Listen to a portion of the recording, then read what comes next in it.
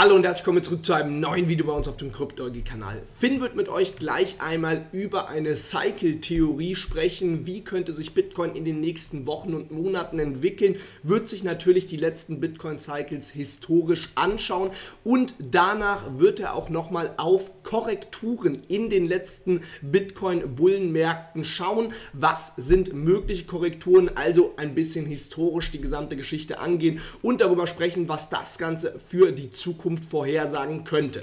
Liam spricht danach auf dem größeren Timeframe, Monthly Timeframe, über eine mögliche Korrektur bis runter auf die 22.000 Dollar. Was sind die Chancen dafür? Wie stehen die Wahrscheinlichkeiten? Das Ganze wird sich Liam mit euch genauer anschauen und ganz am Ende mit mir. Wir sprechen über die Präsidentschaftswahl 2024 in den USA. Keine Präsidentschaftswahl war jemals so wichtig für die Kryptoindustrie. Was dabei die aktuellen Entwicklungen und Details sind, ganz am Ende Ende mit mir im Newspart. Wenn euch das Video gefallen hat, würde mich auf jeden Fall freuen, wenn ihr den ganzen einmal einen Daumen nach oben da lasst. Lasst uns gerne mal versuchen, hier heute auf dem Video die 25 Likes voll zu machen. Jetzt möchte ich euch gar nicht länger aufhalten und wir starten direkt einmal rein ins Video. So, in den On-Chain-Daten wollten wir uns heute nochmal hier diese Cycle-Theorie anschauen, denn wir befinden uns ja im Endeffekt immer noch hier in einer kleinen Aufwärtsbewegung seit dem Boden, den wir jetzt diesen Bullenmarkt gesehen hatten. Und es ist jetzt natürlich im Endeffekt die Frage, wo befinden wir uns? Ist das schon der Start in den nächsten Bullenmarkt gewesen? Werden wir jetzt einfach in den nächsten, ja, 1, 2, 3, 4 Monaten vielleicht schon größere Rallyes nach oben sehen oder kann das Ganze vielleicht noch ein bisschen dauern? Wir hatten uns das Ganze ja schon öfter angeschaut in Bezug auf die Harvings. Jetzt schauen wir uns das Ganze mal ein bisschen skaliert an den All-Time-Highs an. Aber vielleicht jetzt erstmal dazu, was wir wirklich erkennen können. Wir sehen hier immer, wir haben hier die drei, äh, Entschuldigung, vier verschiedenen Phasen. Erstmal neues All-Time High, das ist im Endeffekt die extreme Phase des Bullenmarktes. Nach dem roten Strich hier sehen wir hier, hier und hier, nachdem wir dann immer ein All-Time High gesehen haben. Danach haben wir natürlich noch den Bärenmarkt, der kommt nach dem Bullenmarkt, wo dann die starken Korrekturen kommen. Und am Ende des Bärenmarkts sehen wir dann meistens den Boden, hier, hier und hier. Danach kommt die Akkumulationsphase, da steigt der Kurs tendenziell deutlich schon mal an, hat aber auch noch stärkere Korrekturen, wie wir das immer wieder gesehen haben. Das ist auch die Phase, in der wir uns aktuell befinden. Hier können es immer wieder zu Korrekturen kommen, wie wir uns eben schon hier angeschaut haben. Aber bedeutet im Endeffekt auch noch, dass wir eben noch nicht in der Preparation-Phase sind, nämlich zeitlich gesehen in der Phase, wo es dann schon mal ein ganzes Stück deutlicher nach oben geht und wir dann im Endeffekt am Ende der Preparation-Phase in den exponentiellen Bullenmarkt übergehen, wo wir das hier vielleicht 2016 fast am schönsten gesehen haben. Wir haben hier gesehen, schön aus dem Bärenmarkt gekommen, dann leichte Kursanstiege, aber auch mit größeren Korrekturen. Dann in der Preparation-Phase geht der Kurs schon deutlich nach oben. Wir fangen sozusagen den Bullenmarkt langsam an und als letztes kommt der exponentielle Bullenmarkt. Hier haben wir das im Endeffekt aber auch gesehen. Auch in der Accumulation-Phase, Kurs ist schon deutlich angestiegen, aber auch wieder deutlich abgefallen. Hier ist dann in der Preparation-Phase der Kurs zwar auch deutlich angestiegen. Wenn wir die Phase hier bis zum Ende aber, sag ich mal, betrachten, haben wir schon einen deutlichen Kursgewinn gesehen. Hier aber auch natürlich mit dem Corona-Crash, also mit einer extremen Korrektur nochmal drin. Und danach haben wir dann im Endeffekt den exponentiellen Run-Up nochmal bis auf unser, ja, oder kurz bevor unser All-Time-High gesehen, auch wenn wir diesen Bullenmarkt dann ja nochmal eine fast 50% Korrektur hatten, bevor wir dann nochmal unser All-Time-High um ein paar tausend Dollar übertroffen hatten. Trotzdem, was bedeutet das jetzt für uns? Für uns bedeutet das meiner Meinung nach erstmal, dass diese Korrektur jetzt erstmal vielleicht gegebenenfalls noch ein bisschen weitergehen könnte. Insgesamt sollten wir uns jetzt aber nicht zu einen großen Kopf machen, weil es einfach zu diesen Phasen dazugehört, zur Accumulation, zur Preparation Phase, dass es immer wieder zu Korrekturen, Korrekturen kommen kann. Trotzdem kann man davon ausgehen, dass, so wie wir es jetzt gesehen haben, der Kursanstieg schon durchaus ja, erkennbar sein wird, sage ich jetzt mal. Gerade in der Preparation Phase ist der Kursanstieg schon, schon deutlich, deutlich stärker. Und das bedeutet, dass wir eigentlich in den nächsten, ja, ich sage jetzt mal kommenden Monaten, in den nächsten anderthalb Jahren definitiv schon Kursgewinne sehen sollten. Auch wenn man natürlich davon ausgehen könnte, dass vielleicht wirklich dann das Alltime high schon noch ein ganzes Stück von uns entfernt sein könnte. Trotzdem sollten wir uns jetzt die kurzfristigen Kursentwicklungen natürlich in den Charts nochmal anschauen. Das macht Dia mit euch und ich verabschiede mich dafür für heute. Ciao, ciao. Okay, Leute, dann auch nochmal willkommen zurück hier zur Chartanalyse. Wir wollen uns heute mal die größeren Timeframes anschauen, um zu schauen, was so in den nächsten Wochen und Monaten, sage ich jetzt mal, in einem Spektrum von ungefähr, ich sage jetzt mal, ein bis acht Monate passieren kann beim Bitcoin-Kurs. Und ich würde sagen, wir starten auch direkt mal beim Monatschart, denn hier können wir natürlich etwas sehr Wichtiges erkennen. Und zwar waren wir jetzt über vier Monate, um genau zu sein, vier Monate und ein paar und 20 Tage in unserer Widerstandszone drin, die sich je nach Exchange, je nachdem, wie man sie einzeichnet, ungefähr von 28.500 bis 32.000 US-Dollar erstreckt. So habe ich sie zumindest mal eingezeichnet. Wir haben es nie an die obere Widerstandslinie der Widerstandszone geschafft waren aber ewige Zeit drin, waren zwischenzeitlich mal wieder kurz draußen, sind wieder reingepusht und so weiter und so fort. Und jetzt sind wir tatsächlich so niedrig, sage ich jetzt mal, wie noch nie nach unten rausgefallen. Bleibt natürlich spannend, ob wir es bis zum Ende des Monats vielleicht aus irgendwelchen Gründen wieder da reinschaffen oder ob wir jetzt weiter abverkauft werden. Das Ganze ist natürlich extrem dadurch unterstützt, dass wir hier momentan erstmal nur mit einem Wick auf unseren wichtigen Support von 25.200 US-Dollar gebaut sind, äh, sind, der tatsächlich sogar hier auf dem Monatschart zu erkennen erkennen ist. Und dementsprechend hätten wir jetzt zwei verschiedene Szenarien. Es kann natürlich sein, dass wir hier bouncen und einfach das Ganze wieder nach oben gehen und jetzt zwischenzeitlich unsere 25.200 US-Dollar einfach unser Boden waren. Vor allem, weil wir ja schon mal bis zu den 25.200, 24.500 US-Dollar letztens vor ein paar Wochen gefallen sind und wir dementsprechend einfach einen doppelten Boden bilden und weiter nach oben ausbrechen. Das zweite Szenario wäre, dass wir tatsächlich durch die 25.200 durchfallen und dann hätten wir hier die untere Linie. Das ist eine Kurve, die ich hier einfach mal mit den verschiedenen Böden verbunden habe aus den gesamten Cycles hier raus, also hier, hier und hier verbunden und dementsprechend könnte es natürlich hier sein, dass wir nochmal bis zu dieser Linie von ungefähr hier an diesem Punkt 22.000 US-Dollar fallen werden und wir dort dann tatsächlich den Boden sehen. Das bedeutet, dass wir jetzt hier eine leichte Seitwärtsbewegung haben, vielleicht die nächsten zwei, drei Monate noch hier nochmal die Linie antatschen bei 22.000 US-Dollar, vielleicht nochmal kurz drunter wicken, je nachdem. Das kommt natürlich mal drauf an, wie da gerade die Marktstimmung ist und wie natürlich auch noch die News kommen und dann hiervon abbouncen. Dann haben wir hier, beziehungsweise erwartet uns hier ja auch im Frühjahr nächsten Jahres das nächste Halving und dementsprechend wäre das dann ein guter Punkt, um dann hier von dieser unteren Supportlinie abzustoßen.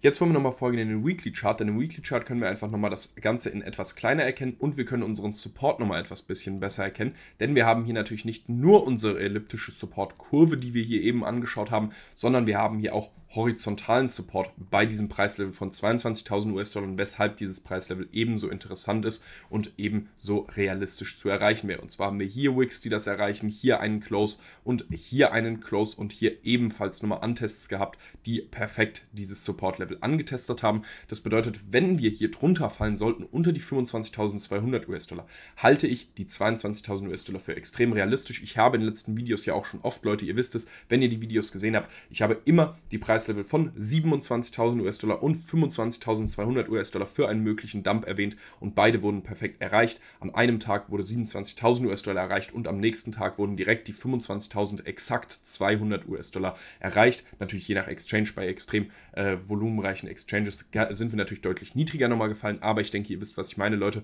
Auf dem Index-Chart beispielsweise haben wir exakt die 25.200 angetestet und dementsprechend könnte ich mir sehr gut vorstellen, dass sollten wir hier nach unten hin durchfallen, natürlich mit einem Close auf einem übergeordneten Timeframe, sprich Weekly oder sogar Monats-Timeframe, dann könnte ich mir sehr gut vorstellen, dass wir nochmal in diesen Bereich fallen werden, eben bevor es langsam in die Bullenphase losgeht mit dem Harving 2024. Also Leute, das hier auf jeden Fall im Auge behalten und sollten wir mit einem Close, mit einem wichtigen Close unter die 25.200 US-Dollar fallen, dann ist das natürlich sehr kritisch zu betrachten, während, falls wir hier jetzt tatsächlich einen sehr guten Weekly Close haben oder in 10 Tagen den Monats-Close, dann äh, davon bouncen von den 25.200, also hier in Richtung 26.000, 27.000 US-Dollar wieder, dann würde das Ganze natürlich sehr danach aussehen, als würden wir hier einfach eben das haben, was ich eben erwähnt habe, mit einem doppelten Boden quasi nach oben pushen. Sollten wir hiervon gut abstoßen, könnte das natürlich eben der Fall sein. Wir haben auch oft Double-Top-Formationen gesehen, die dann abgestürzt sind und dementsprechend beispielsweise haben wir das hier gesehen. Wir hatten hier Double-Top und sind dann hier zwischenzeitlich nochmal unter 20.000 US-Dollar in extrem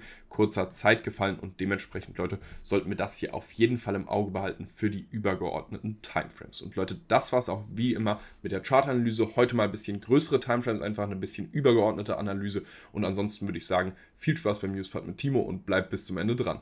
2024 stehen die Präsidentschaftswahlen in den USA an und diese werden so wichtig wie nie zuvor für Bitcoin, Ethereum, etc. Warum und was jetzt das Ganze mit Elon Musk zu tun hat, dieses Thema wollen wir uns jetzt heute einmal gemeinsam im Newspart anschauen. Also, zuerst einmal, warum sind diese Präsidentschaftswahlen 2024 so wichtig für die Kryptoindustrie? Ganz klar, die letzten Jahre war Krypto oftmals noch zu neu und zu klein ein, anstatt dass es für Aufsichtsbehörden und für Regierungen interessant gewesen wäre, das Ganze zu regulieren, Steuern zu erheben, etc. Natürlich gibt es bereits Regulierungen in einem kleinen Maße, aber nicht so, wie wir das Ganze wahrscheinlich jetzt in den nächsten Jahren sehen werden. Und da die USA einfach eine sehr, sehr große Entität im Kryptoraum sind, sehr viel Kryptoindustrie in den USA ansässig ist, ist es natürlich auch sehr, sehr wichtig, wer die Person ist, die über diese gesamten Gesetze entscheidet. Jetzt aber zurück zu dem Thema, was Elon Musk mit diesem ganzen Thema zu tun hat. Und zwar unterstützt er aktuell einen neuen aufstrebenden republikanischen Präsidentschaftskandidat für die Wahl 2024. Dabei geht es um, der Name ist etwas schwierig auszusprechen, Vivek Ramaswamy. Ich hoffe, das Ganze passt jetzt so. Dieser ist Krypto gegenüber sehr, sehr offen eingestellt. Unter anderem ist er auch für eine Verstärkung der Kryptoindustrie. Diese soll in den USA wieder gefördert werden. Generell sehr offene Haltung gegenüber digitalen ähm, Assets und auch Kryptowährungen. Er selber beispielsweise akzeptiert auch Spenden für seinen Präsidentschaftswahlkampf in Bitcoin. Das Ganze ist sehr ähnlich zu Robert Kennedy, der macht das Ganze auch. Jetzt ist natürlich die ganz große Frage, was hat das mit Elon Musk zu tun? Wie wird Musk hier tätig werden? Schon bei der Präsidentschaftswahl 2020 hat sich Elon Musk für verschiedene Kandidaten ausgesprochen und immer mal wieder seinen Senf, wie man schon wirklich sagen muss, dazugegeben. Er ist einfach eine sehr, sehr einflussreiche Person aufgrund seiner Größe, seiner Followeranzahl und natürlich wird er mit seiner Meinung einige Wähler in den USA beeinflussen können. Deshalb ist es natürlich sehr interessant, wenn er sich jetzt zu einem kryptofreundlichen Präsidentschaftskandidaten sehr, sehr positiv äußert.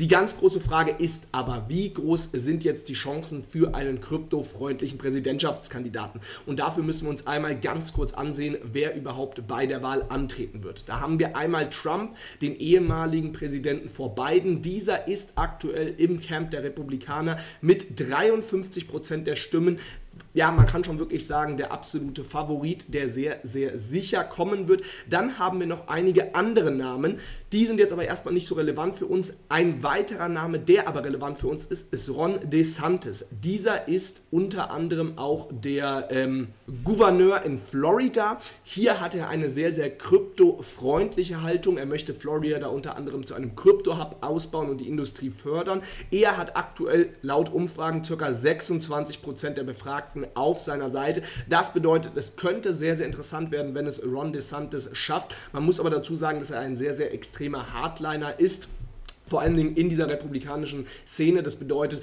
ob sich das Ganze jetzt dann generell positiv makroökonomisch auswirkt, das ist noch nicht ganz klar. Aber gemeinsam mit Vivek Ramaswamy wären diese beiden Kandidaten aus Sicht eines Krypto-Industrieteilnehmers auf jeden Fall eine sehr, sehr gute Wahl. Bei den Demokraten sieht das Ganze nochmal ein bisschen anders aus. Wir haben natürlich Joe Biden, dieser hat eine ganz gute Chance und vor allem Dingen, wie erwähnt, Robert F. Kennedy. Dieser akzeptiert auch seine Wahlkampfspenden in Krypto, möchte unter anderem Steuern zurückfahren und generell die Kryptoindustrie wieder fordern. Das bedeutet, wir haben drei Namen, die wirklich sehr, sehr kryptofreundlich sind. Interessant wird es, ob sich dabei jemand durchsetzen kann. Generell denke ich aber, diese Wahl wird einen sehr, sehr großen Einfluss auf die Kryptoindustrie haben, so wie wir sie heute kennen. Diese wird sich wahrscheinlich durch diese kommenden Gesetze dann nochmal grundlegend ändern. Das war es jetzt soweit von mir. Wir sehen uns morgen im nächsten Video. Ciao.